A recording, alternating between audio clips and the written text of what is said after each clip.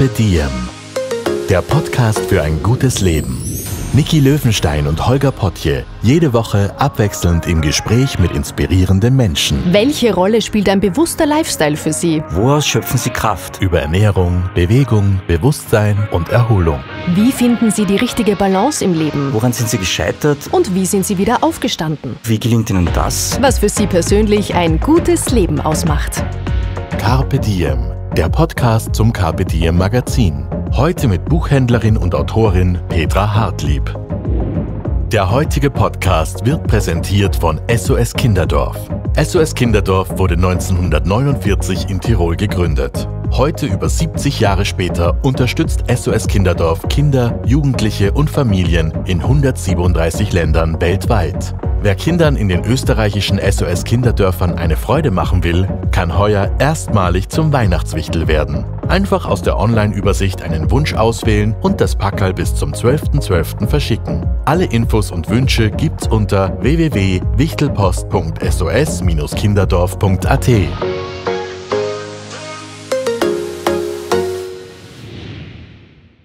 Advent mit Carpe. Willkommen bei unserer Spezialausgabe rund um Bücher und Lesen. Mein Name ist Niki Löwenstein. Ich persönlich habe auf dem Nachtkästchen immer gerade ein Buch liegen. Und vielleicht ist ja jemand von euch auch gerade auf der Suche nach guter Literatur oder auch nach dem ein oder anderen Weihnachtsgeschenk in Papierform. Ihr werdet heute ganz bestimmt bei uns fündig. Ich habe mir für diese Folge nämlich einen wirklich ganz wunderbaren Gast dazu geholt. Sie ist selbst Autorin, Buchhändlerin, hatte Journalistin viele, viele Literaturkritiken verfasst also ein echter Experte. Sie verrät uns, was man gelesen haben muss. Petra Hartlieb. Hallo. Ich freue mich. Ich freue mich auch. Danke, dass du dir Zeit nimmst. Ich weiß, gerade im Weihnachtsgeschäft ist jede Minute kostbar bei dir. Ja, es ist ein ruhiger Moment heute mit dir zu sprechen. Puh, Glück gehabt. Sag mal, wie viele Bücher hast du in deinem Leben denn gelesen? Ich bin wahnsinnig schlecht im Rechnen. Ich kann nur, vielleicht kannst du es ausrechnen. ich sage immer so, wenn man wenn man so halbwegs durchschnittlich liest am Abend und nicht jeden Abend ausgeht und so, so ein Buch pro Woche schafft man schon, finde ich. Und dann kannst du ja mal durchrechnen, wie alt ich bin und wie viele Wochen ich. Und ich habe relativ früh zum Lesen begonnen. Ich konnte mit fünf schon lesen, also ich habe ein Jahr Vorsprung. Und es gibt natürlich Phasen, da lese ich auch weniger, aber dann gibt es wieder Phasen, da lese ich halt zwei Bücher pro Woche. Ich finde, ohne Lesen geht es einfach nicht. Mit fünf konntest du schon lesen. Hast du dir das selber beigebracht? Das habe ich mir selber beigebracht und lustigerweise meine beiden Kinder auch. Die konnten auch, der eine sogar mit viereinhalb schon lesen. Äh, keine Ahnung, was da, irgendwie gibt es da irgendwelche Gene bei uns. Äh, also von mir wird immer die Geschichte erzählt, dass meine Eltern das nicht wussten. Ich hatte eine Schwester, die war zwei Jahre älter und anscheinend habe ich da immer mitgelernt. Und ich habe es einfach geheim gehalten und habe dann irgendwann die Zeitung genommen, in der meine Oma gelesen hat, und habe so vor mir hingehalten und habe gesagt, Oma, was ist ein außergerichtlicher Vergleich? Und dann sind alle zusammengelaufen und haben gesagt, das ist ein Wunder. Also meine weitere Schullaufbahn war dann nicht so wundervoll. Ähm, ich habe es geschafft und in Deutsch war ich natürlich immer gut, aber Rechnen ist nach wie vor nicht meine Stärke. Wir, wir rechnen uns jetzt nicht aus. Wir lassen das offen stehen. Aber wir haben jetzt gerade im Vorgespräch über Kinderbücher gesprochen, weil ich erzählt habe, als meine Tochter auf die Welt gekommen ist, die ist jetzt achteinhalb Jahre alt, wir begonnen haben, die ganze Wohnung mit Bücherleisten auszukleiden, wo dann die Bücher wirklich so drapiert sind, dass man auch die Cover, die ja oft Kunstwerke sind, sieht. Und du hast gesagt, ja, da kommt gleich was ganz Tolles raus. Also den ersten Büchertipp gibt es sofort. Den ersten Büchertipp gibt es sofort, wobei ich muss noch kurz einen Schwenk machen, weil mein Kind ist natürlich in einer Wohnung voller Bücher aufgewachsen und der kannte einfach diese ganzen erwachsenen Schriftsteller einfach von der Tapete, die wir sozusagen in der Wohnung haben. Das heißt, er wusste immer ganz genau, wo steht Martin Walser, wie sieht Bertolt Brecht aus. Das wusste der im Kindergartenalter schon, weil er genau wusste, in welchem Regal dieses Buch steht und was wie zusammenhängt. Und das ist, der ist jetzt 21 und der weiß immer noch ganz genau, wo was steht und ist total irritiert, wenn wir mal unsere Bibliothek umräumen. Äh, ja, von mir gibt es ja schon viele Bücher, da reden wir vielleicht im Laufe des Gesprächs noch. Natürlich. Und bei mir ist jetzt aber Neuland hereingebrochen. Und ich habe äh, Beginn 2023 erscheinen von mir zwei Kinderbücher. Du hast zwei Kinderbücher geschrieben? Ich habe zwei Kinderbücher wow. geschrieben. Das muss ich auch kurz erzählen, warum zwei. Erstmal 30 Jahre kein Kinderbuch und dann plötzlich zwei. Ich habe ein kleines Haus am Land im Weinviertel und da gibt es wahnsinnig nette Nachbarn, Freunde von uns und er ist auch Schriftsteller und wir hatten irgendwann vor zwei Jahren die Idee, wir schreiben ein Buch zusammen. Und dann haben wir, das ist vielleicht dann was für deine Tochter, zwei Kinder entwickelt, Mischa und Martha. Und Mischa und Martha sind Zwillinge, die wohnen in der Stadt. Die Mama ist Tierärztin, der Papa ist Journalist. Die sind ungefähr zehn Jahre alt und eines Tages eröffnet ihnen, eröffnen ihnen die Eltern ziemlich umständlich, weil sie sich ein bisschen nicht trauen, dass sie aufs Land ziehen. Und dann ziehen diese armen Stadtkinder in so ein Kaff nach Niederösterreich und hassen es natürlich. Und dann entwickelt sich aber so eine Kinder-Krimi-Geschichte. Also sie müssen dann dort einen Kriminalfall auflösen, wo es mit ähm, einem Wolf zu tun hat. Das ist so Naturkrimi sozusagen. Und der Hubert Flattinger und ich haben begonnen, das zu schreiben und hatten wahnsinnig viel Spaß und haben gesagt, wir schreiben das mal fertig und dann suchen wir uns einen Verlag. Und dann habe ich letztes Jahr im Sommer einen Anruf bekommen vom größten deutschen Kinderbuchverlag, das ist der Carlsen Verlag in Hamburg. Und da war der Programmchef dran und der kam mit einer Buchidee äh, die er bei mir quasi bestellt hat. Und ich war so begeistert von dieser Idee, dass ich gesagt habe, ich mache das jetzt. Und das ist das zweite Buch, was erscheint. Und das wird heißen Zuhause in unserer Buchhandlung.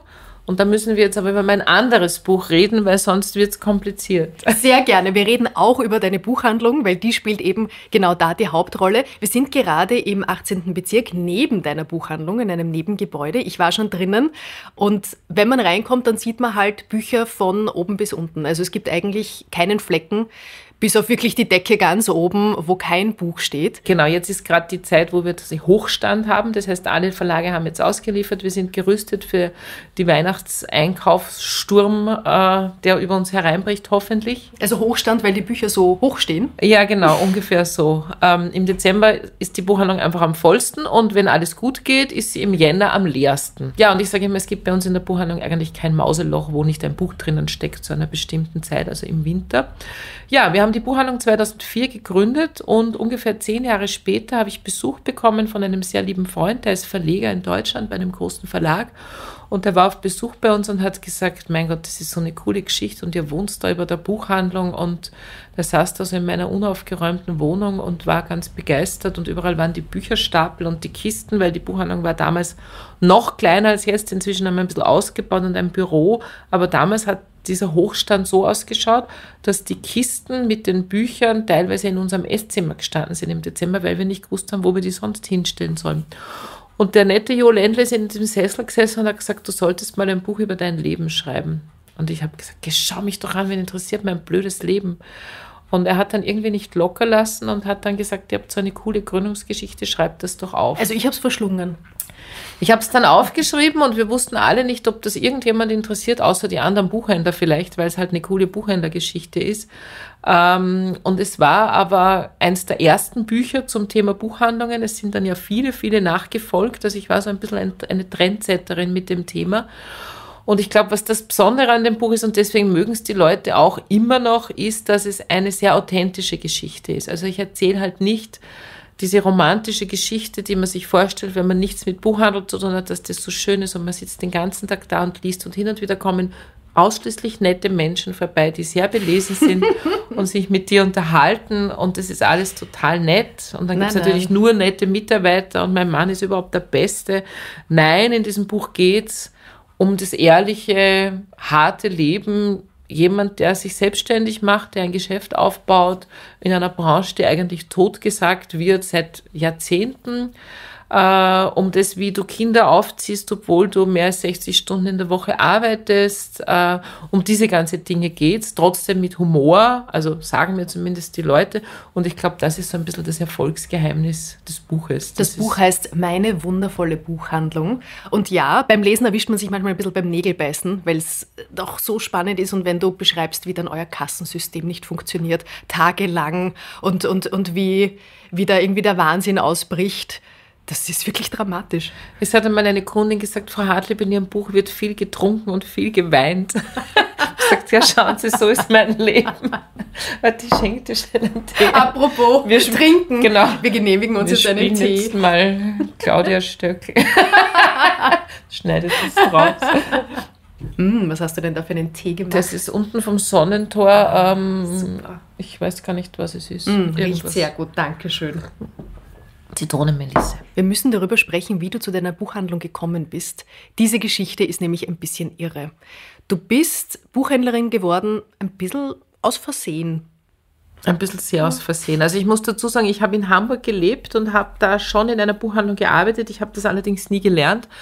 Mein Mann ist gelernter Buchhändler und war damals in Hamburg, aber ja, eigentlich so, sagen wir mal, so Top-Manager in einem großen deutschen Verlag und wir sind halt immer nach Wien in den Urlaub gefahren und hatten im 18. Bezirk ganz liebe Freunde, wo wir auch immer gewohnt haben.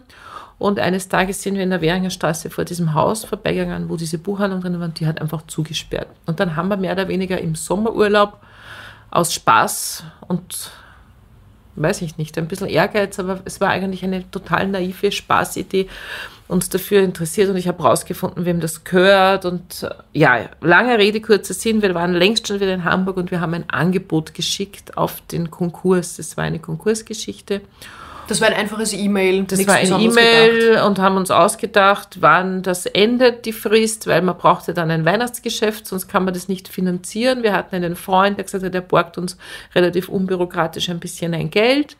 Ähm, ja, und dann haben wir dieses E-Mail geschickt und haben auch nie eine Bestätigung bekommen, dass dieses E-Mail da ist. Und ungefähr zwei Monate später, als ich schon längst nicht mehr dran gedacht habe, habe ich ein lapidares Mail im Posteingangsordner gehabt, wo drinnen gestanden ist, also herzlichen Glückwunsch, Sie haben jetzt eine Buchhandlung in Wien gekauft, bitte finden Sie sich am so und so vielten mit so und so viel Bargeld im Hinterzimmer der Währinger Straße ein. Und dann habe ich den ersten Nervenzusammenbruch meines Lebens gekriegt und habe mir gedacht, Gott, wir haben eine Buchhandlung gekauft. Wollten wir das in Wien? wirklich? Ihr wart aber in Hamburg. Wir waren in Hamburg. Wir haben in Wien nicht einmal eine Wohnung gehabt. Wir hatten zwei Kinder, die in Hamburg total integriert waren. Naja, und dann haben wir irgendwann realisiert, ich habe dann einen Freund, den Papa einer Freundin angerufen, der ist Richter und in Wien und den habe ich gefragt, sag einmal, Sag einmal, ist das jetzt verbindlich? Also wenn, wenn die da jetzt zurückschreiben, muss ich das, oder kann ich jetzt einfach sagen, nein, Entschuldigung, es war eher nicht. Schnapsidee. Sagt er, nein, nein, also nein, das müsst ihr jetzt schon machen. Also das ist jetzt schon, nein, nein, das ist quasi eine schriftliche Vereinbarung. Ihr müsst es jetzt schon kaufen. Also ihr könnt es dann ja gleich wieder verkaufen, aber ihr müsst halt schon mit dem Geld hinfahren. Also es war, es war echt schrecklich. Naja, und dann haben wir es einfach getan. Das ist ein paar Jährchen her. Wie würdest du jetzt rückblickend dieses Abenteuer beschreiben? Es war ein Abenteuer, das ist wirklich ein, das richtige Wort dafür. Eigentlich immer noch großartig. Und wenn ich mir vorstelle, wie viel Energien wir damals mobilisieren konnten, sowohl Energien in uns, aber auch in unseren, in unseren Kindern, in unseren Freunden, also was wir da auf die Beine gestellt haben, da habe ich immer noch wirkliche Hochachtung jetzt davor und wir würden das jetzt nicht mehr schaffen. Das schaffst du auch nur, wenn du jünger bist und wenn du was wirklich willst, dass du den Biss hast dafür und wir wollten das halt wirklich. Und es ist ein bisschen so, wenn du dann in diesem Prozess bist, dann denkst du ja auch nicht nach drüber. Also dann gibt es kein Aufgeben. Ja, das ist wie, wenn du auf einen Berg gehst und du bist drei Viertel oben, dann gehst du auch nicht wieder zurück. Oder wenn du ein Kind kriegst, dann ist es auch nicht lustig, aber es muss halt raus, ja, es geht halt nicht. Und als, die, als wir die Buchhandlung, dann waren wir halt mitten in der Renovierung und dann jetzt sperren wir halt auf. Und dann kamen die Kunden, na gut, jetzt machen wir es halt. Und dann haben wir halt Personal gesucht, weil immer mehr Kunden gekommen sind. Also es ist immer so ein Schritt nach dem anderen. Aber wenn du mich jetzt fragst, wenn ich so im Nachhinein nachdenke, wie viel wir in diesen ersten fünf Jahren gearbeitet haben und dann auch noch das Kind hatten, das ja, glaube ich, damals vier Jahre alt war, dann kann ich mich eigentlich nicht mehr erinnern, wie wir das geschafft haben. Das ist einfach unvorstellbar gewesen. Nachher hat sich es ein bisschen beruhigt und wir sind einfach ja, besser aufgestellt, mehr Personal. Es ist immer noch viel Arbeit, aber gegen damals, das war ein Wahnsinn. Aber irgendwann musst du dir gedacht haben, naja, so ein Buch schreiben, jetzt habe ich so viele gelesen, probiere ich es einmal aus? Oder wie, ja, wie war hab, dieser Initialmoment bei dir? Ich habe ja eigentlich mit Krimis begonnen. Ähm, mit einem Kollegen zusammen? Mit einem Kollegen zusammen, genau. Das war eigentlich auch ein bisschen so eine Schnapsidee. Also geschrieben habe ich schon immer. Also ich habe früher für so eine linke Zeitung geschrieben. Ich habe immer wieder mal für den NDR geschrieben. Ich habe äh, Buchkritiken geschrieben. Ich habe immer gern und leicht geschrieben. Und auch das war ein bisschen eine Schnapsidee. Ich war mit Klaus Ulrich Bielefeld und der war damals äh, Literaturkritiker in Berlin und wir haben uns immer getroffen bei der Frankfurter Buchmesse und haben halt gequatscht miteinander und haben immer so die ganze Branche durchgehechelt und haben gesagt, ah, hast du gehört, der wechselt jetzt zu dem und der hat jetzt die geheiratet und, und irgendwann sagt er dann, ja, und alle schreiben jetzt Krimis. Also sogar bei Surkamp gibt's jetzt Krimis und ich sage, na, wir könnten da auch mal so ein Krimi schreiben, komm, das ist ja nicht, kann nicht so schwer sein. Und dann haben wir quasi auf der Papierserviette eine Wiener Kommissarin und einen Berliner Kommissar entwickelt und ich habe gesagt, okay, gilt äh, wenn du mir das erste Kapitel schickst, dann schreibe ich weiter. Und so haben wir dann hin und her geschrieben. Und daraus ist dann wirklich ein Buch entstanden, das wir dann wirklich sehr erfolgreich an einen Verlag verkauft haben. Und daraus ist sozusagen die Reihe entstanden. Sag noch, wie die Reihe heißt. Die Reihe heißt Klaus Ulrich Bielefeld, Petra Hartlieb, ein Fall für Wien und Berlin und hat eben unterschiedliche, also gibt es vier. Der erste spielt im Zug. Es müssen halt immer Fälle sein, die irgendwas mit Wien und Berlin zu tun hat. Äh, erste spielt im Zug ein toter Schriftsteller, das haben wir uns leicht gemacht, weil im Literaturmilieu kennen wir uns aus. Das heißt, äh, Literaturagenten, Literaturkritiker, Buchhändler, das ist ein Menschenschlag, den kennen wir. Dann gibt es einen, der spielt so ein bisschen im Terroristenmilieu. Äh, es gibt einen, der spielt im Burgtheater, das war auch total interessant, da habe ich im Burgtheater recherchieren dürfen. Und einen, da geht es um Kunstfälschung, also auch ein heißes Thema. Und das hat viel Spaß gemacht, weil wir auch viel recherchiert haben. Ähm, ja, und irgendwann kam aber dann die Idee dieses Buchhandlungsbuches und das hat natürlich viel Zeit gekostet. Und das war so ein bisschen, ich habe das damals so ein bisschen als, fast ein bisschen als Selbstreflexion geschrieben. Also ich habe mir so gedacht, naja, wenn das jetzt nicht erfolgreich wird, dann haben wir ein schönes Buch äh, zum 10. Geburtstag und wir haben halt mal aufgeschrieben, wie die Geschichte war. Und dieses Buch hat aber wirklich mein Leben verändert, muss ich sagen, weil es einfach ein unglaublicher Bestseller geworden ist. Du erzählst, dass immer noch Menschen reinkommen, regelmäßig, und sich einfach diese Buchhandlung aus dem Buch mal anschauen wollen, ob das wirklich so ist. Jede Woche. Also wirklich jede Woche. Man merkt immer besonders, wenn Ferienzeit in Deutschland sind, dann kommen wahnsinnig viele deutsche Touristen. Ich hatte aber auch schon eine weinende Koreanerin da stehen, die so ergriffen war, dass es mich wirklich gibt, weil das Buch auf Koreanisch gelesen hat. Ich hatte mal, da haben wir die Buchhandlung gerade ein bisschen umgebaut. Ja, es ist in acht Sprachen übersetzt. Einmal hatte ich, da haben wir die Buchhandlung gerade umgebaut ein bisschen und ich hatte so ein äh, Arbeitsoberal äh, an, total dreckig und habe irgendwelche Kisten ähm, an der Buchhandlung vorbeigeschleppt und die Buchhandlung war zu und es stand eine italienische Reisegruppe vor der Buchhandlung, die mich gefragt haben, ob ich zufällig weiß, wo Petra Hartlieb wohnt. Also das klingt jetzt alles sehr famous, aber es ist manchmal total lustig und man erkennt natürlich auch die Leute immer sofort. Meine Mitarbeiter lachen dann immer, wenn jemand so reinkommt und so vorsichtig die Tür aufmacht und man so schaut und der Mund steht so offen und dann schauen sie so die Leitern an und dann sagen meine Kolleginnen immer schon, das ist für dich. also du gehst anders in eine Buchhandlung, wenn du ein Buch abholst und wenn du da wohnst, also wenn du jetzt aus äh, Nordrhein-Westfalen kommst und dir gedacht hast, jetzt schaue ich mal, ob es das wirklich gibt und die Leute sind dann immer ganz verwundert, dass es das wirklich gibt ja. und dass es wirklich auch so ausschaut. Ja? Vielleicht landet ihr in irgendeinem Reiseführer mal. Ich glaube, dass die Buchhandlung in ein, zwei mhm. Reiseführern schon drinnen ist. Beziehungsweise glaube ich, dass es viele deutsche Buchhändlerkolleginnen gibt, die quasi das mit dem Wien-Reiseführer mitverkaufen. Also das steht dann im Regal neben dem Bedecker Wien und dann wird das Buchhandlungsbuch äh, an, den an die buchaffinen Kunden. Weil ich kenne das ja auch, wenn ich jetzt zum Beispiel einen Reiseführer an Stammkunden verkauft, wo ich weiß, die lieben Buchhandlungen, dann sage ich auch, ma geht's in Hamburg zur Buchhandlung? Jud, das ist da und da ist die Adresse und schaut sich das mal an, das ist so eine schöne Buchhandlung. Apropos italienische Reisegruppe, du hast dann auch noch ein zweites Geschäft aufgemacht im 9. Bezirk. Wir sind jetzt im 18. Also wenn man hier in die Straßenbahn steigt und ein paar Stationen fährt, dann ist man im 9. Und da gibt es einen Buchladen mit italienischen und französischen Büchern. Genau. Auch nochmal ganz was anderes. Ja, auch das ist ein bisschen ein Zufall gewesen. Wir hatten nie daran gedacht, eine Filiale zu eröffnen. Und dann war da ein sehr schönes Buchgeschäft, was aber sehr schlecht geführt war am Schluss. Und irgendwie bei einer Party war das auch wieder, sagt irgendeiner von diesen Buchhandelsvertretern zu mir, willst du eine Buchhandlung kaufen? Und ich sage, nein, Nicht schon ich habe ja schon eine. nein, aber da gäbe es ja ganz eine schöne. Ich sage, nein, ich will keine Buchhandlung mehr, ich habe ja eine. Er sagt, na, aber die in der Porzellangasse wird frei. Und ich gesagt, echt? Oh, die ist so schön und das wäre so schrecklich, wenn da was anderes reinkommt, weil es ein schöner Laden ist. Ja, und dann haben wir gesagt, na gut, dann machen wir es halt nochmal. Und haben ein bisschen zufällig dann diese italienisch-französisch Geschichte gemacht, weil eine ganz liebe Kollegin von uns, die wollte eigentlich immer italienische Buchhandlung in Wien aufmachen und wir haben sie auch immer wieder beraten und mein Mann hat mit ihr das alles durchgerechnet. Und hat immer gesagt, ja, es ist, muss halt echt vom Umsatz her, dass sich das alles ausgeht. Und dann haben wir gesagt, okay, du machst bei uns einfach die italienische Buchhandlung quasi Shop im Shop und arbeitest halt auch für uns und führst quasi im Laden die Buchhandlung. Und dann hat die Buchhandlung äh, im Lycée zugesperrt. Und wir hatten eine total tolle Bewerbung von einer Französin, die sich zufällig zwei Monate vorher bei uns beworben hat. Also Lucie, eine französischsprachige Schule Wien? Genau.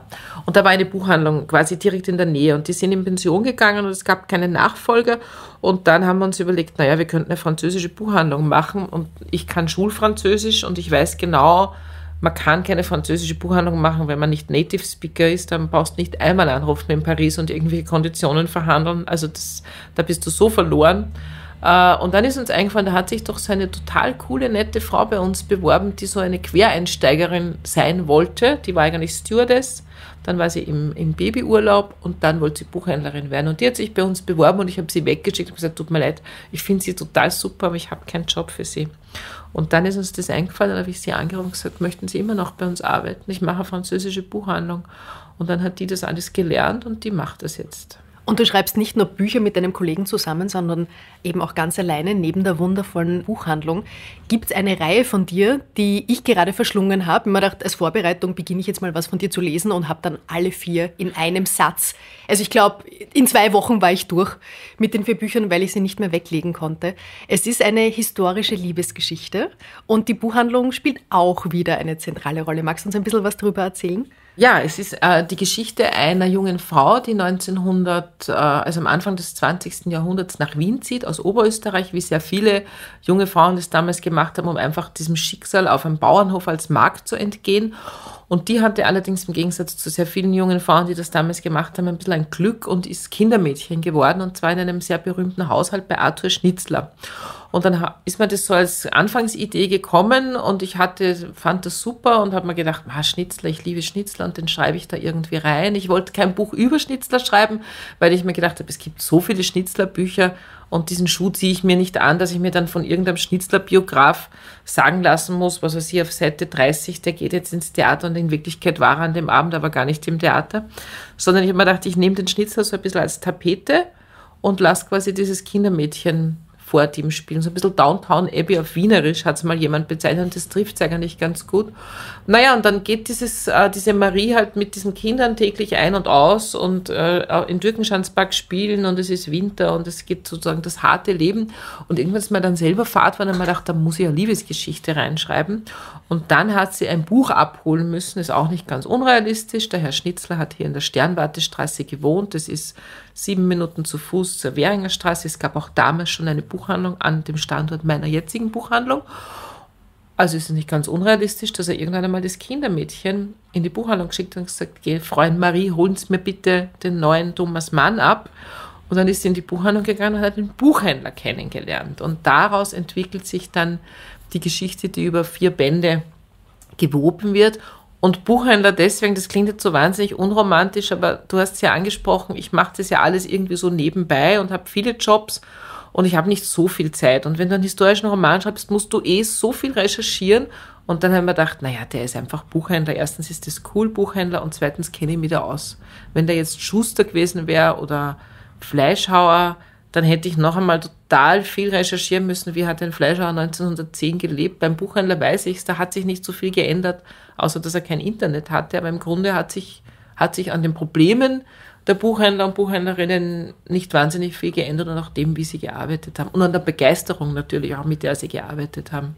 Die Reihe durchlebt die vier Jahreszeiten, deshalb heißt es auch Frühling, Sommer, Herbst und Winter. Okay, man, in sollte, Wien. man sollte aber mit dem Winter anfangen, da beginnt die Geschichte. Genau, Marie zieht quasi im Winter bei denen ein. Es ist das erste Weihnachtsfest. Man kann natürlich auch schräg einsteigen, wenn man sagt, man will im Frühling kein Winterbuch lesen. Es wird immer wieder erklärt. Äh, also man kennt sich aus, wenn man sie sozusagen durcheinander liest. Aber ich glaube, schöner ist es, wenn man wirklich von Winter anfängt, weil es gibt dann doch immer so ein bisschen Cliffhanger wo man dann in einem durchlesen kann. Wie wir telefoniert haben, als ich dich angefragt habe für diesen Podcast, habe ich erzählt, dass ich ganz begeistert war, weil am Abend, bevor ich dich angerufen habe, in dem Buch meinen Namen entdeckt habe. Da kommt eine Figur namens Löwenstein vor. Das habe ich ganz toll gefunden. Ja, das Und du wusstest es nicht mal so echt. Aha. Du, das ist mit den Namen oft manchmal schwierig. Ich habe zum Beispiel jetzt eine alte Freundin, die ein bisschen böse war, weil ich einen, den Namen von ihr verwendet habe für eine nicht sympathische Figur, also nur eine wirkliche Unbewusst. Nebenfigur unbewusst. Mhm. Und ich habe versucht, das zu erklären. Ich weiß nicht, ob sie es verstanden hat. Aber wenn du, ich habe jetzt, glaube ich, ungefähr zwölf Bücher geschrieben und in diesen zwölf Büchern gibt es sicher mindestens 20 bis 30 Familiennamen. Und die Hauptnamen, also jetzt den Mörder oder den Kommissar oder so, da überlege ich mir natürlich ganz genau und wenn ich da jetzt einen, wenn ich da jetzt einen Namen genommen hätte, der nicht austauschbar ist, dann hätte ich auch die Person, wo ich mir den Namen geborgt habe, gefragt, ob das okay ist. Ich habe zum Beispiel mal einen total unsympathischen Gerichtsmediziner ähm, Dr. Schima genannt und das ist ein ganz lieber Freund von mir und der ist Radiologe und ich habe ihn gefragt und sagt, Wolfgang, darf ich deinen Namen nehmen? Aber das ist so ein richtiges Arschloch eigentlich und er sagt, cool, das schenke ich dann meiner ganzen Verwandtschaft. Der fand super, ja. Und manche Leute finden es aber nicht so super, aber du, du hast diese Namen so ganz unbewusst. Du hörst irgendwas, du siehst jemanden, der erinnert dich vielleicht an die Freundin und dann ist es der nächste Name im Buch egal ob das jetzt unsympathische oder sympathische Leute sind, das ist einfach irgendwie so im, im Hirn halt drinnen. Und man muss ein bisschen aufpassen. Ich nehme natürlich wahnsinnig viele Kundennamen. Ich habe ja eine wunderbare Kundendatei. Und Friedhöfe sind natürlich auch ein großartiger also wenn ich am Friedhof gehe, bin ich immer mit dem Notizbuch unterwegs und schreibe mir diese ganzen Namen auf. Apropos Friedhöfe, am Ende dieser Episode gibt es dann ein paar ganz spezielle Büchertipps und da spielen Friedhöfe auch eine gewisse Rolle. Sag Petra, wie gehst du denn diesen Schreibprozess an? Wie läuft das bei dir ab? Ähm, naja, viele Bücher sind quasi, kommen so ein bisschen der Anstoß von außen, also wie das Buchhandlungsbuch, was dem Verleger eingefallen ist, das erste Kinderbuch, mit dieser Buchhandlungsgeschichte, wo auch, da, da müssen wir noch reden drüber, genau, das, das Kinderbuch, das auch mit der Buchhandlung zu tun hat.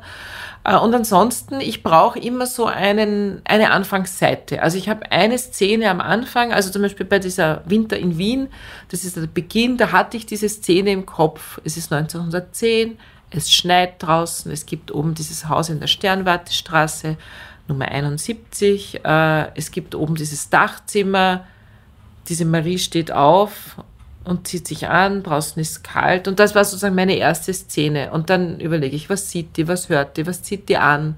Dann, dann recherchierst du mal einen Monat, weil es spielt 1910. Was zieht die denn wirklich an? Hat die Licht im Haus?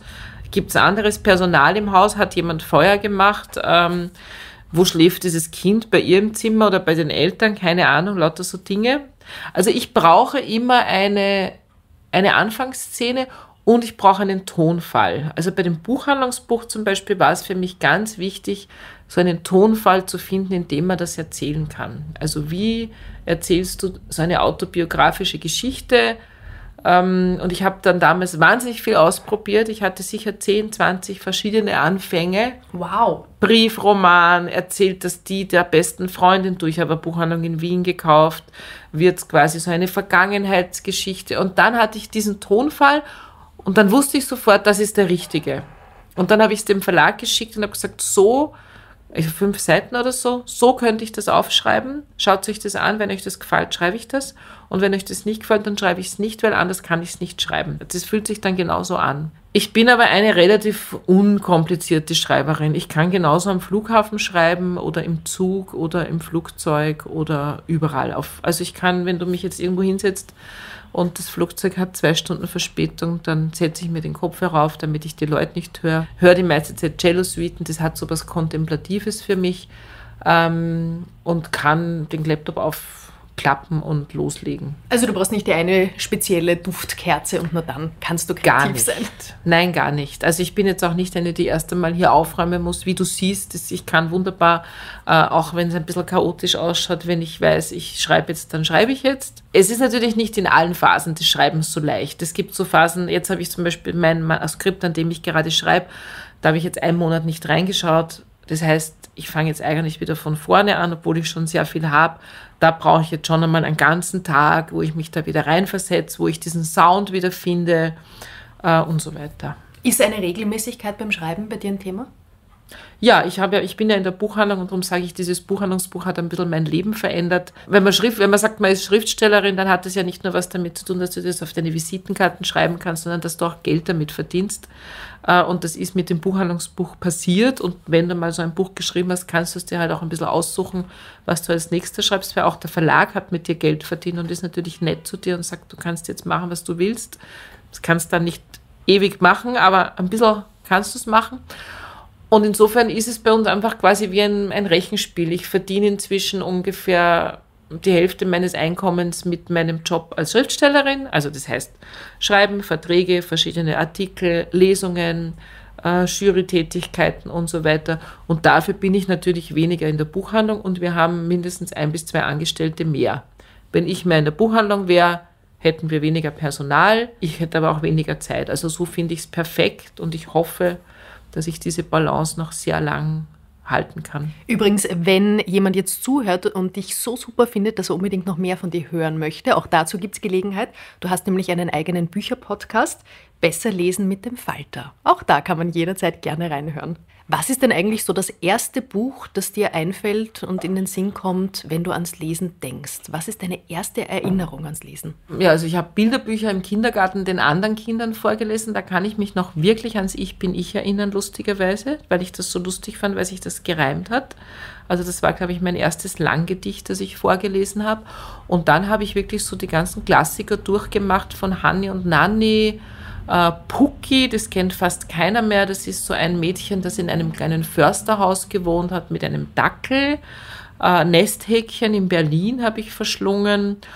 Und dann eigentlich querbeet alles. Ich kann mich noch an meinen ersten Gruselroman erinnern als Kind. Der ist jetzt lustigerweise neu aufgelegt worden. Das heißt Wölfe um Schloss. Also ich kann dir nicht mehr sagen, um was es da gegangen ist, aber ich weiß noch, dass ich es wirklich gruselig fand. Und dann habe ich wirklich alles verschlungen, alles. Und ich kann mich erinnern, weil jetzt, wenn wir so Jugendbuchberatungen machen und dann sagen manchmal die Eltern, naja, da ist er vielleicht noch zu jung mit 13, so ein, das geht vielleicht noch nicht. Und ich sage dann immer, ich habe mit 14 heimlich unter der Bettdecke Stephen King gelesen. Ich wollte gerade sagen, weil du gesagt hast, da, da hast du dich so gegruselt. Es gibt auch einen Stephen King-Roman, da habe ich laut geschrien zu Hause. Ich konnte nächtelang nicht schlafen, aber ich sage dann immer, hat es mir geschadet. Also ich bin auch keine Massenmörderin geworden, äh, obwohl ich Friedhof der Kuscheltiere ist immer noch ein Albtraumbuch für mich und ich habe das heimlich mit 14 oder mit 13 gelesen. Also ich kann das nicht sagen, ich habe einfach immer wahnsinnig viel gelesen. Das zweite Kinderbuch hast du erwähnt. Erzähl uns darüber was. Ja, auch ich habe ja gesagt, das Buchhandlungsbuch, meine wundervolle Buchhandlung, hat äh, ja mein Leben verändert und das hört einfach nicht auf, was ich wirklich ein bisschen Magic finde. Ähm, es hat mich im Sommer vor einem Jahr ein, der Programmchef von einem großen deutschen Kinderbuchverlag angerufen, vom Carlsen Verlag, und hat so gesagt, ja, guten Tag, Sie kennen mich nicht, ich habe mir Ihre Handynummer erschlichen und äh, ich habe eine, ich habe eine verrückte Idee gehabt und die erzähle ich Ihnen jetzt. Und dann, ich war gerade am Wochenendhaus und habe Geschirr abgewaschen und dann hat er gesagt, ja, er liebt dieses Buch, meine wundervolle Buchhandlung so. Und da gibt es doch auch ein Kind, das damit aufwächst. Und ich sage, ja, das Kind ist jetzt 21. Und dann sagt er, und seitdem fragt er sich, ob man nicht die Geschichte aus der Perspektive des Kindes für Kinder erzählen könnte, als Kinderbuch. Und dann habe ich geschwiegen und er sagt dann so, Frau Hartlieb, sind Sie noch da? Finden Sie das so doof? Und ich sage so, Nein, aber das ist so eine geile Idee und ich frage mich gerade, warum ist da zehn Jahre niemand draufgekommen? Das liegt ja quasi auf der Straße. Dann haben wir sofort begonnen zu reden, wie man das machen könnte. Und das kommt jetzt äh, auch nächstes Jahr raus, ähm, ist durchgehend illustriert, also der Mittelpunkt zwischen, zwischen Lesebuch und Bilderbuch. Ähm, ist eine ganz tolle Hamburger Illustratorin, die Nini Alaska, die das gezeichnet hat. Und die hat das wirklich so gezeichnet, dass ich das Gefühl habe, die hat in mein Hirn geschaut und hat die Figuren so hingezeichnet, wie ich sie mir vorgestellt habe. Und das ist die Geschichte eben von Toni. Und Toni erzählt, dass seine Eltern, die in Hamburg gelebt haben, in eine Buchhandlung in Wien gekauft haben.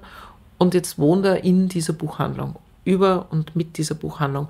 Und es geht natürlich in diesem Buch, weil das wäre sonst nicht ich, nicht nur um die Romantik des Lesenlernens und um die ganzen Kinderbuchhelden, die da diese Buchhandlung und das Hirn von Toni bevölkern, sondern es geht auch um Eltern, die ein bisschen überfordert sind. Es geht um Mitarbeiten. Es geht um darüber, dass Kinder mitwachsen in so einem Betrieb. Es geht darum, dass Toni das Abholfach einräumen muss oder mal das Geld zählen muss am Abend, weil, weil Toni nämlich viel besser rechnen kann als seine Mama.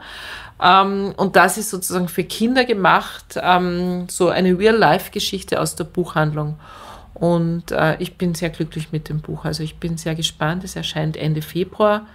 Wie heißt es? Es heißt äh, Zuhause in unserer Buchhandlung. Ja, mein Mann ist am Cover gezeichnet, also er hat es jetzt auch mal aufs Cover geschafft. Er steht auf einer Leiter in der Buchhandlung und Toni steht unter ihm und schaut rauf. Und es ist quasi äh, ja, unsere Geschichte aus der Kinderperspektive. Und das Schöne ist, dass auch ähm, Toni, der im echten Leben natürlich nicht Toni heißt, auch sehr glücklich ist mit der Geschichte, weil der natürlich damit aufgewachsen ist, so ein berühmtes Kind zu sein. Weil wenn, ich habe das ja damals sehr offenherzig geschrieben, weil ich auch ein bisschen naiv rangegangen bin und irgendwie nicht gewusst habe, dass das so viele Leute lesen werden. Und meine Kinder sind natürlich schon ein bisschen ausgestellt worden durch diese Geschichte. Und gerade das kleine Kind ist halt damit groß geworden, dass es immer heißt, ah, du bist das kleine Kind aus der Buchhandlungsgeschichte und darum war es mir besonders wichtig, dass sozusagen Toni vom, vom echten Toni auch gut gefunden wird. Und jetzt sind wir sehr zufrieden mit dem Werk. Übrigens an dieser Stelle sei erwähnt, dass man alle Bücher, über die wir heute sprechen, und auch alle anderen bei dir kaufen kann. Und zwar nicht nur, wenn man hier in Wien-Währing zu Hause ist, sondern natürlich auch online. Diese Werbung soll erlaubt sein an dieser Stelle und dir ist es auch ganz wichtig, du kämpfst dafür, dass gerade der kleine Buchhandel auch äh, wirklich genug Kundschaft bekommt und nicht nur alle anonym und bei den großen Riesen oder und online bestellen. Ja, also ich bin, ich bin, ich glaube, ich könnte kein, kein äh, darf ich den Firmennamen sagen? Natürlich. Ich glaube, ich könnte kein Amazon-Konto eröffnen. Ich habe keines, weil die würden mich wahrscheinlich sperren, weil ich immer so böse über sie schreibe. Ich bin sicher auf der schwarzen Liste. Hin und wieder muss man manchmal was bestellen bei Amazon, wenn es irgendwie ganz dringend was sein muss, was du sonst nirgends kriegst. Äh, für mein Patenkind ein Faschingskostüm musste mal her und da habe ich dann einen Freund angerufen und gesagt, frag nicht nach, bestell mir bitte sofort ein Elsa-Kostüm auf Amazon. Ich habe kein Konto. Er hat nicht nachgefragt und hat es bestellt. Äh, ja, ich bin ein bisschen, ich habe mir ein bisschen diesen Ruf erarbeitet. Ähm, ich werde auch wahnsinnig oft von den Medien angerufen, wenn irgendwas ist zum Thema Internet, Buchhandel und so weiter. Und ich bin eigentlich eine, die sehr früh gesagt hat, wir brauchen einen eigenen Online-Shop, weil das Einkaufen online ist ja per se nicht böse. Natürlich, wenn man sich alles quer durch die Republik schicken lässt, obwohl ich neben einer Buchhandlung wohne, muss ich jetzt nicht online bei Hardlips oder wo auch immer bestellen. Das finde ich einfach blöd. Äh, aber man muss auch im Internet kann man nachhaltig einkaufen. Und bei uns nutzen das sehr viele Kunden eigentlich so, dass sie es online bestellen und dann abholen. Oder die halt wirklich wo wohnen, wo sie keine Buchhandlung haben. Es gibt ja leider genügend Ortschaften in Österreich. Ähm, und dann ist es natürlich toll, wenn sie das bei der nächsten Buchhandlung in ihrer Kreisstadt bestellen oder in einer anderen Buchhandlung, äh, die mit diesem Geld auch irgendwie ihre Angestellten bezahlt und ihre Steuern bezahlt und so weiter.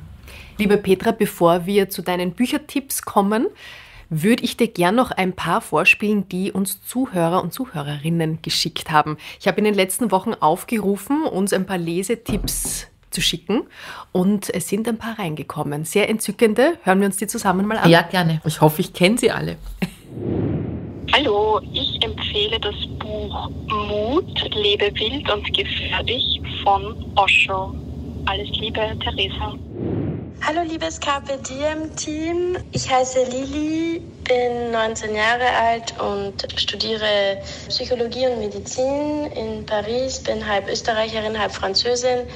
Und hierzu wollte ich mich bei euch bedanken für die ganzen sehr inspirierenden Gespräche, die ihr immer führt. Wirklich ein großes Lob. Ich wollte heute über ein Buch berichten, das von meiner Mutter geschrieben wurde. Sie weiß auch nicht, dass ich äh, über ihr Buch berichte. Es ist ein Landhausbuch, also eine Art Coffee Table Book. Und es ist ein wirklich ein sehr, sehr inspirierendes Buch über Landhäuser und sehr inspirierenden Menschen in ganz Europa, also Deutschland, Österreich, in der Schweiz in Italien, in Spanien und in Frankreich natürlich auch. Und es lädt zum Träumen ein. Das ist ein ganz, ganz besonderes Buch, das wirklich auch mit viel Liebe zum Detail gestaltet wurde. Und das Buch heißt Mein Refugium auf dem Land von Doris Barbier Neumeister und wurde halt im, also ist im Carré Verlag erschienen. Danke und alles Liebe aus Paris. Hallo, ich bin die Lotti und Nikis Tochter und ich mache heute ein Buch über die Kackwurstfabrik. Das ist eine Fabrik, die produziert Kaki. Und da erfährt man, wie Kaki produziert wird und sie geht um den Körper. Und da passiert irgendwas. Das kann ich euch aber nicht erwähnen, wenn ihr selber das Buch lest, weil sonst ist das Spannende weg. Da gibt es so eine Seite zum Klugscheißen und hinten und vorne eine Seite mit ausgedachten Namen für, für verschiedene Kackwurstfabrik Also nein, für verschiedene Kackwürste. Sowas wie Bratwurst, das ist dann ein Semmel mit einer Kacke drinnen. Oder ein grünbrauer Kuhfladen, das ist dann einfach ein Kuhfladen. Oder hartes Geschäft, das ist dann aus Kacke Ziegelsteine. Und ölige Winde, das ist dann sowas, wo ein Furz rauskommt und hinten kommt dann aber statt ein Furz ein Kacki ein bisschen raus. Und das war mein Lesetipp für euch. Das ist süß! Hallo, mein Name ist Susanne Christek. Ich bin Autorin und Veranstalterin der Lesebühne zum Mitsingen. Bei der Lesebühne zum Mitsingen lade ich regelmäßig Stargäste ein. Wir lesen gemeinsam Texte, dazwischen plaudern wir und dann kommt das Highlight, nämlich zwischen den einzelnen Stellen singen wir gemeinsam mit dem Publikum Massenkaraoke. Ja, und die Petra Hartlieb besuche ich regelmäßig in ihrer Buchhandlung. Deswegen möchte ich meine zwei beiden Buchtipps jetzt an euch weitergeben. Das waren zwei Bücher, die mir die Petra auch jüngstens in die Hand gedrückt hat. Und zwar ist das von Martin Kordic, Jahre mit Martha, beziehungsweise von Vlada Kolosova, Der Hausmann. Beides großartige Bücher, die es fix in meine Top 3 Hitliste der Lieblingsbücher des Jahres 2022 schaffen. Ja, Details dazu wird euch sicher die Petra erzählen, weil das kann sie am besten. Vielen Dank für diese Wortmeldungen und Beiträge. Ich habe mich sehr gefreut und äh, kann gleich an dich übergeben, Petra, weil du bist angesprochen worden von der Susanne. Uh, Martin Kordic ist wirklich ein großartiges Buch. Nein, alle Bücher, die ich empfehle, ist großartig. Aber es gibt so welche, da ha, habe ich so ein besonderes Herzblut. Da muss ich vielleicht ganz kurz erzählen, dass ich den Martin Kordic schon sehr lange kenne. Der Martin Kordic war nämlich mein Lektor bei dem Buch Meine wundervolle Buchhandlung. Und als sie mir den damals vorgestellt haben in Köln im Verlag, steht da so ein nicht 30-jähriger Typ mit Bart und Hoodie im Büro und äh, mit so einer zu großen Jeans und sagt so, hallo, ich bin der Martin. Und dann haben wir gedacht, so, was soll ich denn mit dem? Der ist jünger als mein Sohn. Und dann haben wir uns so angefreundet und haben so toll zusammengearbeitet an diesem Buch. Ähm, und er hat einen unglaublichen Humor, ist aber trotzdem ein totaler Germanist, also einen unglaublichen Sinn für Sprache. Und der Martin schreibt auch selbst. Und es ist schon ein Buch erschienen, das habe ich auch toll gefunden. Und jetzt ist sein zweites Buch erschienen. Und das hat mich so wahnsinnig ergriffen, nicht nur weil ich den Martin kenne, aber weil ich weil ich so reingekippt bin in die Geschichte. Und er hat mir das geschickt ähm, im Jänner als PDF und hat gesagt, würdest du vielleicht was schreiben über das Buch? Ähm, also es gibt ähm, quasi hinten auf der Buch, äh, in, wenn Sie ein Buch in der Hand haben, dann gibt es manchmal hinten auf der Umschlagseite so Quotes, nennt man das, Empfehlungen von anderen Autoren, von berühmten weiß nicht, Marcel, Marcel Reich, Ranitzky, Elke Heidenreich, was auch immer, die sagen, boah, das Buch ist das Beste, was ich jemals gelesen habe. Und er hat mich gefragt, ob ich so eine Quote für ihn schreibe. Und dann war ich wahnsinnig gerührt, weil ich gedacht habe, was ist das für eine schöne Geschichte? Ich war damals eine unbekannte Autorin. Er hat mit mir zusammen dieses Erfolgsbuch gemacht und dann kommt er zehn Jahre später und fragt, ob ich ihm eine Empfehlung für sein Buch abgebe. Und das ist so eine schöne runde Geschichte. Und dann hatte ich totale Panik, dass mir das nicht gefällt. Das Buch gesagt, aber Martin, was ist, wenn es mir nicht gefällt? Und er sagt, na, dann schreibst du kein Quote. Und dann habe ich es gelesen und bin total reingekippt, obwohl ich am Anfang sehr skeptisch war, weil es geht um eine Liebesgeschichte zwischen einem ganz jungen Mann, sehr jung, also er am Anfang des Buches unter 18 und einer 20 Jahre älteren Professorin. Beide sind aus unterschiedlichen Schichten. Es ist diese Lolita-Geschichte umgedreht. Und am Anfang haben wir gedacht, so, oh mein Gott, das kann so geschmacklos sein. Und es ist es aber nicht. Es ist wahnsinnig behutsam erzählt. Es geht um viel mehr als um diese Liebesgeschichte. Es geht um, wo komme ich her, wo sind meine Wurzeln. Es geht um den Bosnienkrieg. Es geht um Gastarbeiterschicksale. Und das alles auf 220 Seiten in einer Sprache, die mich umkaut hat. Und die Susanne anscheinend auch. Allerdings, alle Bücher, über die wir heute sprechen, findet ihr übrigens in den Show Notes. Also wenn ihr nachkaufen wollt, alle Informationen dann im Text zu dieser Episode natürlich. Liebe Petra, welche Bücher haben dich denn geprägt? Die Bücher deines Lebens? Das ist immer eine, eine sehr beliebte Frage und ich kann es nicht genau beantworten, weil es gibt, ähm, ich lese so wahnsinnig viel und es gibt so Lieblingsbücher, die ändern sich einfach. Also das ist mit jeder Lebensphase hast du natürlich andere Bücher und es wird natürlich auch viel überlagert, weil wenn man so viel liest, dann bleiben nur ganz bestimmte keine ganzen Bücher übrig, sondern so Lesesituationen, Lesemomente. Es gibt allerdings ein Buch, das kommt auch in meinem Buch vor, ähm, das mich wirklich sehr geprägt hat und ich glaube, das habe ich inzwischen hunderte Mal verkauft und das ist ein, ein Holocaust-Roman und das ist eine Geschichte, die mich wirklich vom Sessel kaut hat, eigentlich damals aus dem Bett kaut hat, weil ich habe es im Bett gelesen. Das hat mir auch ein Vertreter empfohlen. Ich habe mir gedacht, na gut, ich habe Geschichte studiert, ich habe ungefähr sieben Millionen Holocaust-Romane gelesen. Ich weiß eigentlich viel über dieses Thema. Ähm, was soll denn da jetzt noch Neues erzählt werden? Und das ist das Buch, das heißt äh, Der Schrecken verliert sich vor Ort, von Monika Held. Und ich habe eine Nacht lang durchgelesen und wirklich geweint und immer wieder meinen Mann aufgeweckt und ihm Sätze vorgelesen. Und das ist einfach ein Buch, was, glaube ich, ein, zum Kanon zu diesem Thema gehören sollte. Und das ist die Geschichte einer, äh, eines äh, Wiener Kommunisten, der Auschwitz überlebt hat, den gab es auch wirklich und der sich immer gedacht hat, wie er durch diese Hölle gegangen ist, ich muss mir das alles merken, weil ich muss irgendwann einmal erzählen davon. Und dann war, hat er auch die Größe und die Stärke gehabt und hat in dem großen Auschwitz-Prozess, ist er hingefahren nach Frankfurt und hat da ausgesagt, Jahre später. Und dort hat er eine junge Frau kennengelernt, eine Nachgeborene, die aus dem Polnischen übersetzt und es ist quasi und hat sich eine Liebesgeschichte zwischen den beiden entwickelt. Und es geht eigentlich so ein bisschen um die Unmöglichkeit, eine Liebesbeziehung mit so jemandem einzugehen, der sowas überlebt hat. Ähm, noch dazu für jemanden, der nicht keine Ahnung davon hat. Ja, also ihr schlimmstes Kindheitserlebnis war, dass sie von der Schaukel gefallen ist und sich das Knie aufgeschlagen hat. Er hat Auschwitz überlebt. Und trotzdem bleibt sie aber in diesem Buch nicht auf der Strecke. Also es ist jetzt nicht nur die Geschichte von ihm und er ist natürlich eine sehr schwierige und sehr dominante Person. Wir kennen alle diese diese Überlebenden, die natürlich auch in ihrer ganzen Biografie verständlicherweise nicht einfache Menschen sind. Und dann hast du diese Frau, die versucht, ähm, da irgendwie zu bestehen neben denen und den aber abgöttisch liebt, aber auch weiß, irgendwie bringt er sie auch um, ja. Und dieses Buch ist wirklich was, was ich einfach, glaube ich, da kann ich noch so dement werden, das werde ich einfach nie vergessen. Es gibt Szenen in diesem Buch, die habe ich einfach im Kopf. Ich habe das ja gelesen in deinem Buch über dieses Buch und wollte dich darauf ansprechen, ob du das lagern hast, weil dann nehme ich mir das nachher mit. Wir haben das immer lagern, weil du bist natürlich nicht die Einzige. Es gibt ein ganzes Kapitel eben über dieses Buch, weil das ist ja das Tolle an meinem Job. Ich habe eine Buchhandlung, wenn mir ein Buch gefällt, dann kann ich einfach sagen, ich will die jetzt kennenlernen, ich lade die einfach zu einer Lesung ein.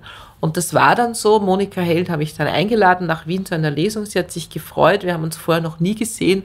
Wir haben uns dann vorher im Kaffeehaus getroffen. Ich habe dann in der Firma angerufen und gesagt, es tut mir leid, ich kann heute leider nicht mehr arbeiten kommen. Ich muss jetzt den Tag mit Monika Held verbringen. Also es war eine Liebe auf den ersten Blick und es war eigentlich so, als wenn wir uns immer schon kennen würden. Und daraus ist auch eine wunderbare Freundschaft entstanden. Wie viele Seiten gibst du denn eigentlich einem Buch, um wirklich seine Qualitäten präsentieren zu können?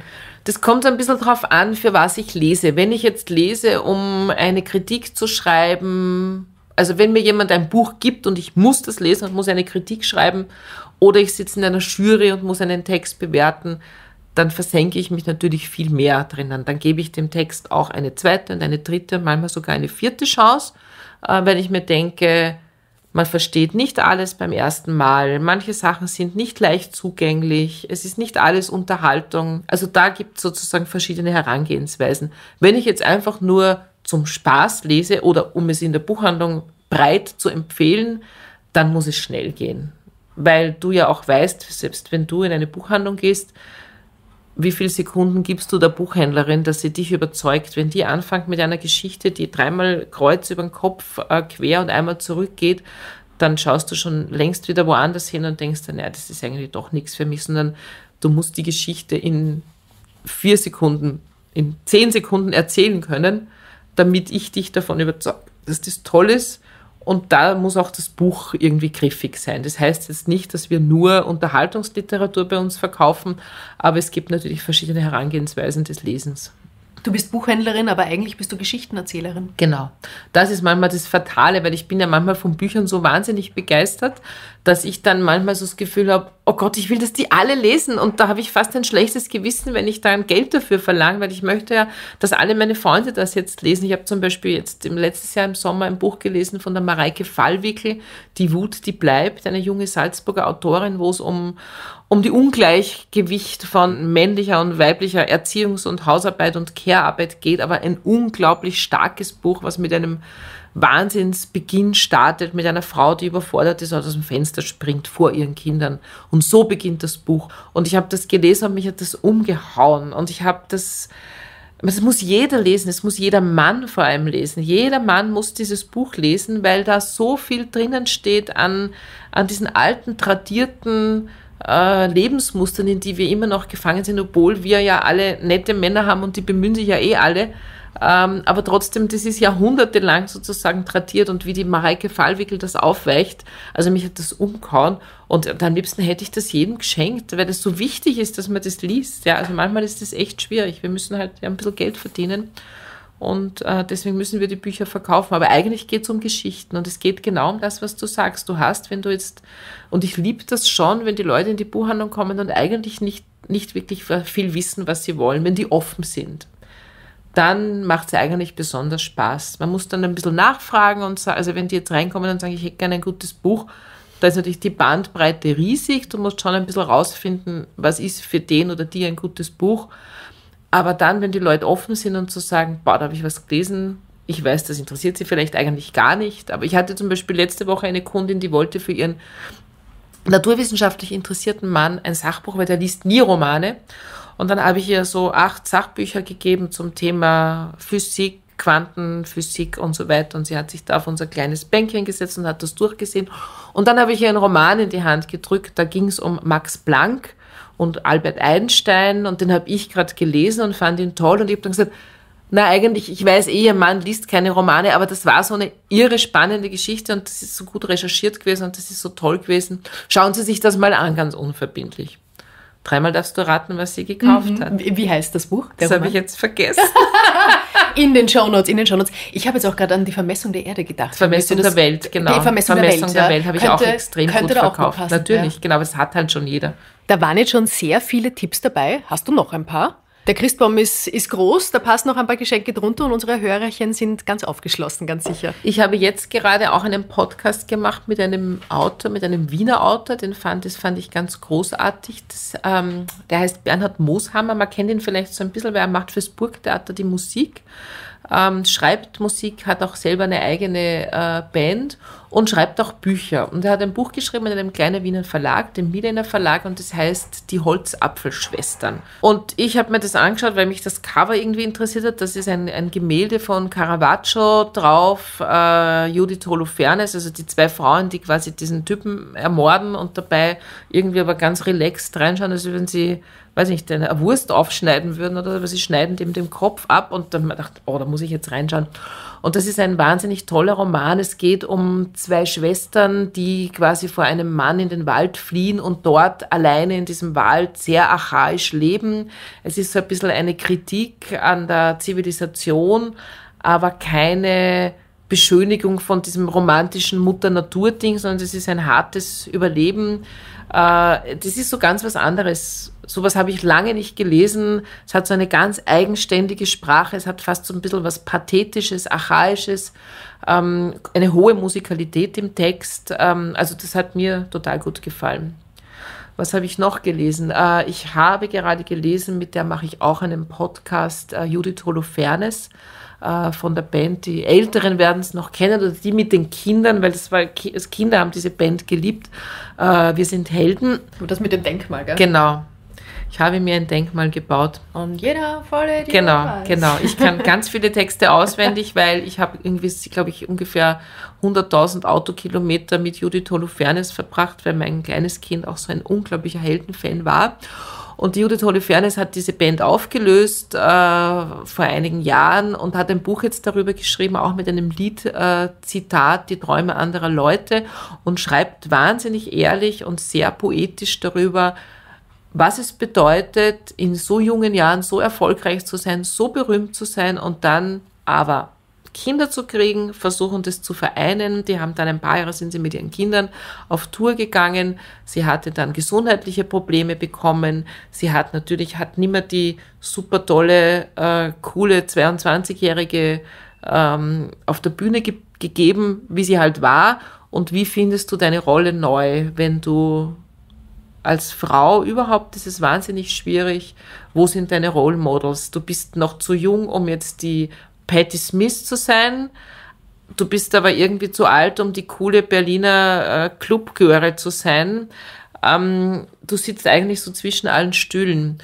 Und ich habe das auch so ein bisschen mit Vorbehalt gelesen und habe mir gedacht, ja, das ist halt jetzt wieder so eine Selbstbeweihräucherung von irgendeiner Frau, die sonst nichts mehr zu tun hat, schreibt sie halt ein Buch und das hat auch so eine tolle Sprache. Also du kannst dir, ich tue immer so in Büchern, wenn mir die, wenn mir Sätze gut gefallen, unterstreiche ich immer ganz viel. Ja, das mache ich auch. Ja, und bei diesem Buch habe ich dann wirklich, teilweise habe ich dann so, jetzt könnte ich mal aufhören zu unterstreichen, weil ich habe auf einer Seite irgendwie zehn oder zwölf Sätze unterstrichen. Also das ist auch wirklich ein tolles Buch. Super, vielen, vielen Dank. Petra, bei uns im Podcast geht es ums gute Leben. Lesen, Zeit für sich, Zeit zum Nachdenken gehört da natürlich auch dazu. Was ist für dich ein gutes Leben?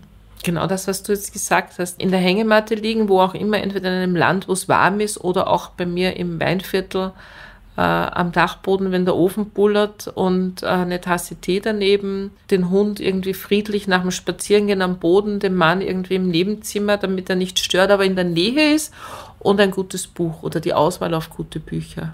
Und am 24. Dezember wirst du dann mal tief durchatmen. Ist das Weihnachtsgeschäft überstanden? Genau, es gibt, ein, äh, es gibt auch noch ein, ein kleines äh, Spin-off äh, Weihnachten in der wundervollen Buchhandlung und da lautet das letzte Kapitel, am 24. Dezember sind wir tot. Und Nein, bitte nicht. kurzfristig. Also der 24. Dezember ist bei uns Gott sei Dank immer sehr schön, weil wir ja große Kinder haben und mein großer Sohn schon lange einen Führerschein hat und der das auch immer super gemacht hat, dass er quasi das damals kleine Kind, den Hund, den Christbaum, alle Einkäufe ins Auto gepackt hat. Am 22. sind die aufs Land gefahren, haben alles vorbereitet, haben eingeheizt, haben den Christbaum gekauft, geschmückt, meistens nur vorne, weil sie hatten nicht so viel Zeit, sie mussten ja so Harry Potter Filme schauen am Abend. Und wir fallen dann am 24. sperren um eins zu, räumen notdürftig auf, und steigen dann wirklich tot, mehr oder weniger tot in den Zug und fahren dahin und kommen in diesen fertigen Weihnachtszustand und alles andere wäre nicht möglich. Ähm, und wir sind sehr glücklich, dass unsere Kinder quasi das umdrehen und die Care-Arbeit am 24. für uns machen. Sehr schön. Ähm, ja. Das ist dann echt immer schön. Es gibt dann immer Lasagne zu essen, lustigerweise, weil das war das Erste, was mein Sohn kochen konnte. Und inzwischen kann er super kochen, aber das ist so Familientradition. Es muss einfach Lasagne geben. Sehr, sehr lustig. Ich glaube, wir sind die einzige Familie in Österreich, wo es Lasagne gibt zu Weihnachten. Und dann spielen wir meistens was und um halb zehn gehen wir dann eh schlafen oder schlafen am Sofa ein. Na schau, wenn jetzt jemand zuhört, äh, vielleicht wird nicht nur das ein oder andere Buch jetzt von deinen Tipps unter dem Christbaum landen, sondern auch eine Christbaum- und Weihnachtslasagne. Schauen wir mal, vielleicht löst du einen Trend aus.